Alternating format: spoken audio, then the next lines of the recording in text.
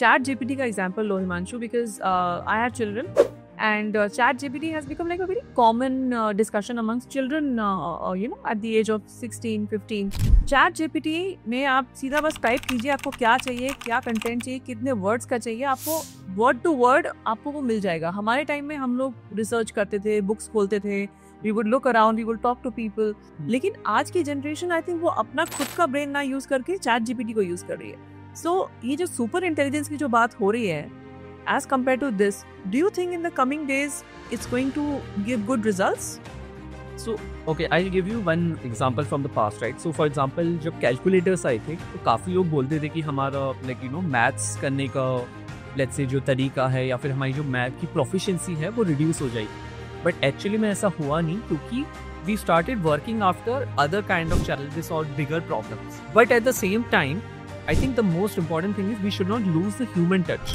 One is obviously doing the research where AI can play a big role, but we should not forget what makes us human. So, what makes us human is the empathy. What makes us human is speaking to other people, understanding their viewpoint.